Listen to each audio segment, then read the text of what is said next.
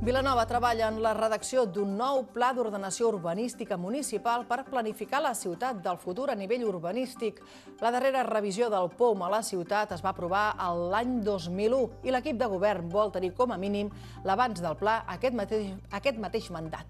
Un dels reptes és la manca de sol industrial per a activitats econòmiques, però també tenir en compte l'impacte del canvi climàtic en un context d'emergència com l'actual. Bona tarda. L'executiu local de Vilanova, que ja ho està treballant amb els grups municipals, també contempla un procés de participació ciutadana. De seguida ho expliquem amb més detall. Avui també l'actualitat ens porta a parlar de les darreres dades de l'atur comarcal. L'atur al Garraf al mes de novembre ha pujat en 83 persones respecte al mes anterior.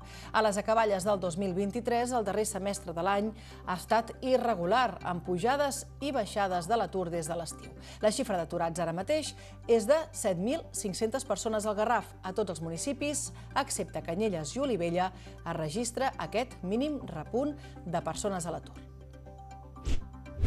Els esdeveniments econòmics i culturals que es programen a Sitges no es tradueixen en una major activitat pels comerços de la població. És la sensació que tenen els establiments sitgetans després d'un estiu, asseguren amb poques vendes. Els preus dels lloguers, diuen, tampoc hi ajuden. Comerciants i Ajuntament de Sitges treballen plegats per detectar les necessitats del sector i intentar també aportar solucions. Vilanova, per la seva part, impulsa una nova edició de la campanya Vilabons per fomentar el comerç local i alleujar l'impacte de la inflació a les compres nadalenques. Amb els Vilabons, els consumidors obtindran un descompte del 40%. A la campanya segueix la línia de les anteriors i busca també potenciar el comerç local, incentivant els descomptes en la compra dels establiments de proximitat. Avui, recordem-ho, s'activa el dispositiu especial del Servei Català de Trànsit. Es preveuen problemes viaris a diverses carreteres catalanes en aquest pont, entre elles també a la P7. Pel pont de la Constitució de la Immaculada es demana la màxima prudència davant els prop de 460.000 vehicles que es mouran a l'àrea metropolitana de Barcelona. I fins al 7 de gener hi ha temps encara per veure l'exposició retrospectiva dels 50 anys de trajectòria de l'Estaquirot. L'emblemàtic grup de teatre familiar vilanoví, recordem-ho, ha baixat el taló, però no sense acomiadar-se del públic, amb una mostra retrospectiva que es pot veure a la sala de Vilanova i que permet viatjar a la infància i recordar els inicis d'aquest grup de teatre.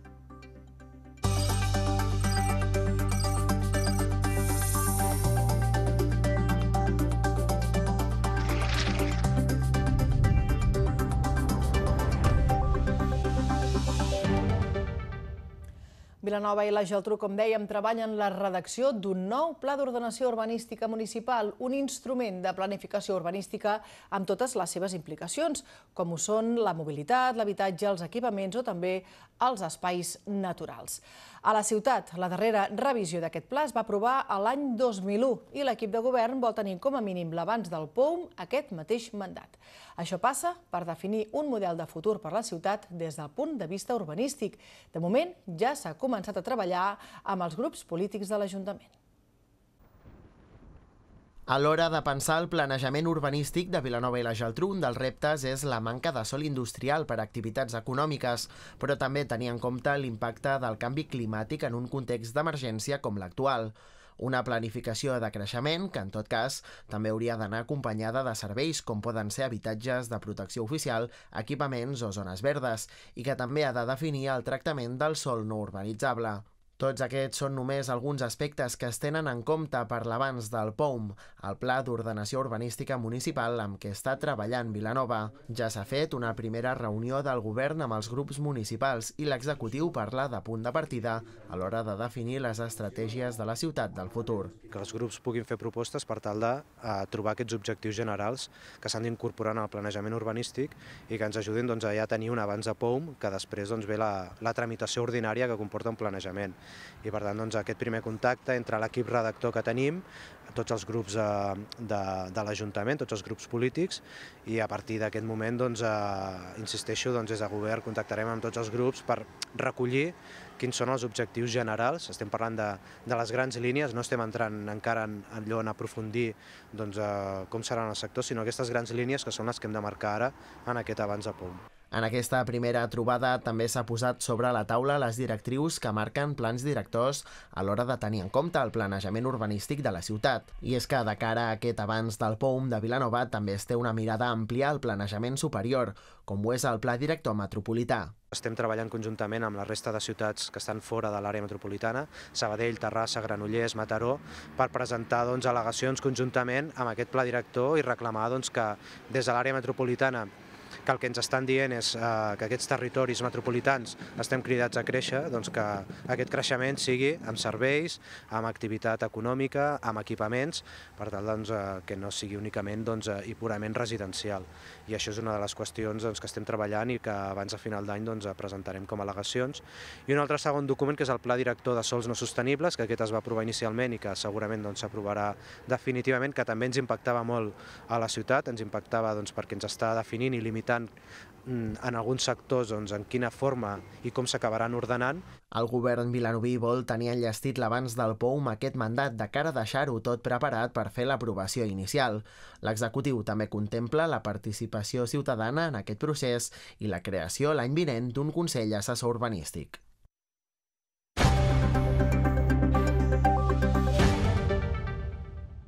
Anem ja cap a altres qüestions. El Garraf aquest mes de novembre ha pujat l'atur mínimament en 83 persones respecte al mes anterior.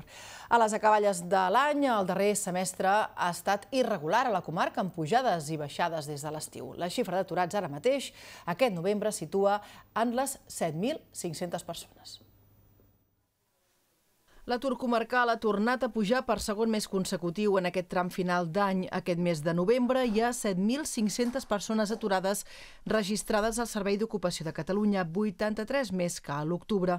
A tots els municipis del Garraf s'ha notat aquest increment de persones a l'atur respecte al mes anterior, exceptuant els municipis més petits, Canyelles i Olivella, que tenen una mínima davallada. A Vilanova i la Geltrú se sumen aquest novembre 45 persones a la recerca de feina i en són ara 3.636. A Sant Pere de Ribes es frega les 1.600 persones aturades, 18 més que al mes d'octubre. A Sitges hi ha 24 persones més a la recerca de feina aquest novembre i ara en són 976. Cubelles registra 816 persones aturades, 4 més que l'octubre. La xifra actual d'aturats a la comarca és de 7.500 persones a les acaballes del 2023. Caldrà veure si al desembre s'aconsegueix baixar la xifra d'aturats gràcies en part a les contractacions que es puguin derivar de la campanya de Nadal. Amb tot, la tendència anual general al Garraf és millor que fa un any, quan les persones sense feina al novembre a la comarca, el 2022, eren 7.850, 350 més que en l'actualitat. I un apunt encara, la setmana vinent la taula per la reindustrialització del Garraf podria anunciar una solució per tornar l'activitat industrial a l'antiga fàbrica Male. Tot apunta que en els últims dies s'hauria concretat una oferta que es donarà a conèixer la setmana vinent.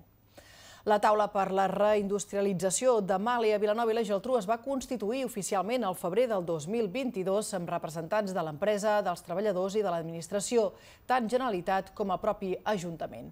Des d'aleshores s'han estat treballant en les possibles sortides pel futur de la planta, tancada, recordem-ho, des del gener de l'any passat.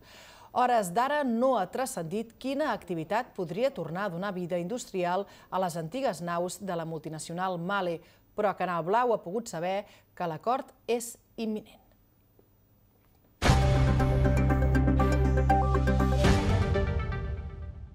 Els esdeveniments econòmics i culturals que es programen a Sitges no es tradueixen en una major activitat pels comerços de la població. És la sensació que tenen els establiments de Sitges després d'un estiu, diuen, amb poques vendes. Comerciants i Ajuntament treballen junts per detectar les necessitats del sector i intentar també aportar-hi solucions. Un estiu de molts esdeveniments a Sitges, però de poques vendes als comerços. Aquesta és una de les preocupacions de Sitges Comerç, que espera no tornar a viure una situació semblant en els propers mesos, en unes botigues que ja estan immerses en la temporada de compres nadalenques. Els preus dels lloguers també estan disparats i això fa que els comerciants cada cop els costi més arrelar la població.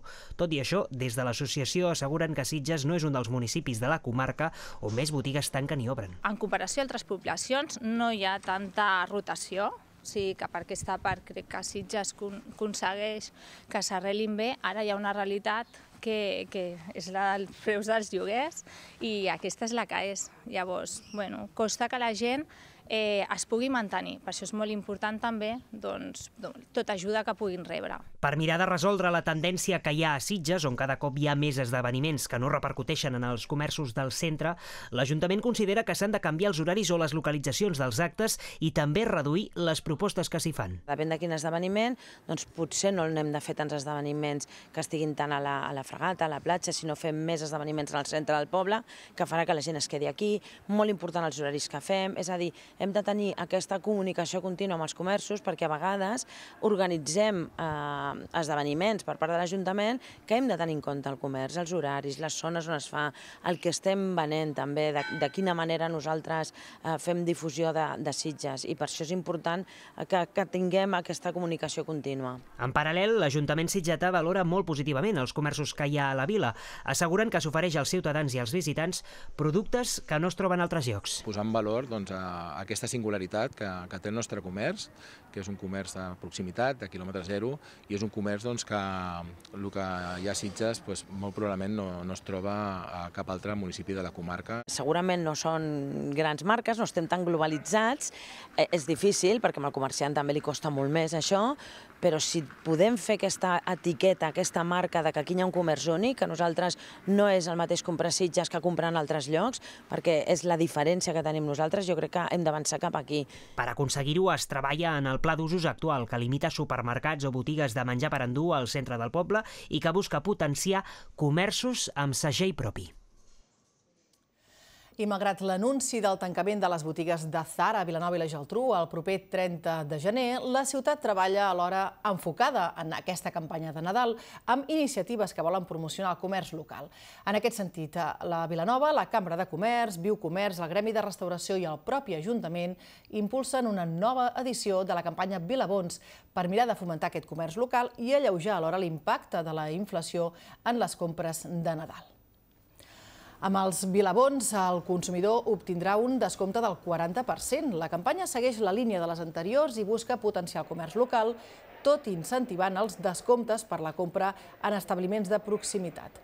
La campanya de Vilabons a Vilanova es posarà en marxa el proper 11 de desembre i finalitzarà el 5 de gener, o fins a exaurir les existències en els establiments i empreses que s'hagin adherit a la campanya. Cal recordar que a partir del 5 de gener deixaran de tenir validesa. La campanya s'obre aquest any a tots els comerços i botigues de la ciutat. Els establiments col·laboradors, però, s'hi han d'inscriure prèviament. El comerç i la restauració local rebran durant la campanya de Nadal una injecció econòmica de 137.500 euros amb aquesta campanya de Vilabons. Els bons de compra previstos a la present campanya sortiran a la venda des de la mateixa plataforma de gestió web a partir de l'11 de desembre. A la present edició s'ha limitat el nombre de Vilabons que es puguin adquirir. És una injecció econòmica pel comerç i per la restauració d'uns 140.000 euros aproximadament, que d'aquests 140.000 doncs, l'Ajuntament eh, n'aporta 55.000, que per tant podríem parlar de doncs, un 40% de, de bonificació. En, eh, en aquesta mateixa accions incentius, també des dels de establiments de biocomerç, tota la persona que pugui anar a comprar tindrà bonificacions després si han aparcat o fan ús dels pàrquings eh, municipals.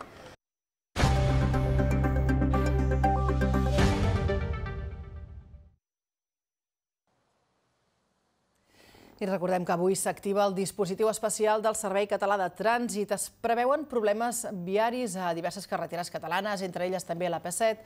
Pel pont de la Constitució i de la Immaculada es demana una vegada més la màxima prudència davant els prop de 460.000 vehicles que es mouran a l'àrea metropolitana de Barcelona.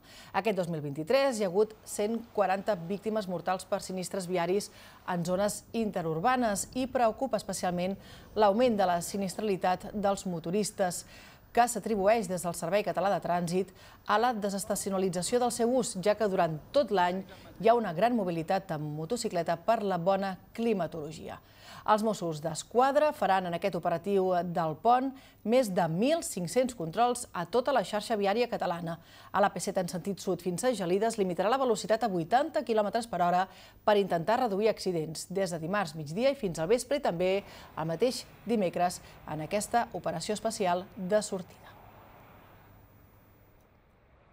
a l'AP7 sud, de sortida sud de Barcelona cap a Tarragona, per entendre'ns, o cap a Terres de l'Ebre, el que posarem en marxa és un límit de velocitat de 80 km d'hora, 80 km per hora, des del que és Barcelona fins al que és Gelida. Això ens permet donar més capacitat a la via, moure tot aquest trànsit, aquesta massa de trànsit, aquesta mena de magma que és el trànsit, moure la 80 per hora i eh, evitar interaccions entre els vehicles i, per tant, donar més capacitat a la via que, que creiem serà densa i també evitar accidents. Tens més capacitat de reacció a 80 km per hora i, per tant, aquests accidents que poden congestionar la via.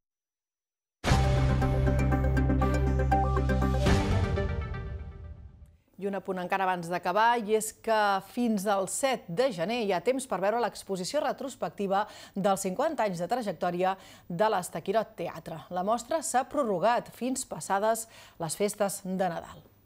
L'emblemàtic grup de teatre familiar Vilanoví, recordem-ho, ha baixat el taló, però no sense acomiadar-se del públic.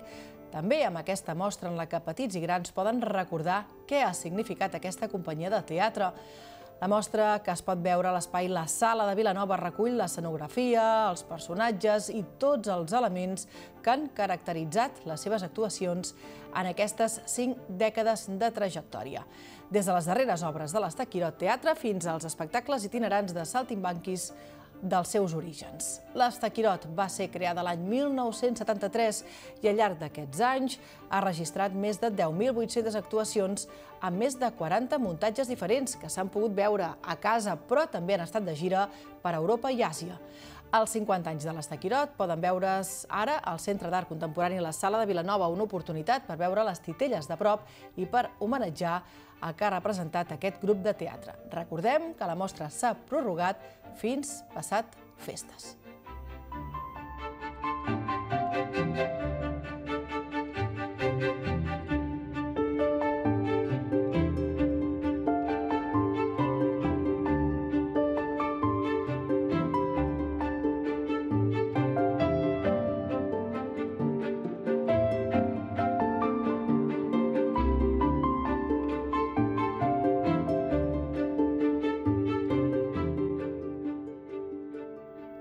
Doncs fins al 7 de gener, recordem exposició prorrogada fins al 7 de gener d'aquest Estaquirot Teatre.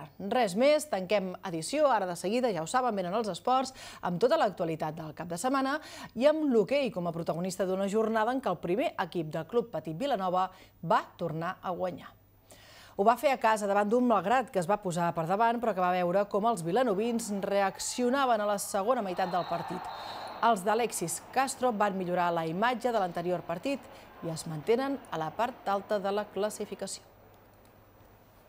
D'aquest partit doncs, i de la resta de la jornada en parlaran ara mateix a l'Aldia Esports amb el coordinador del Club Patí Vilanova, Lucas Sorio. Res més per avui. Tornarem dijous per continuar repassant l'actualitat. Que vagi molt bé.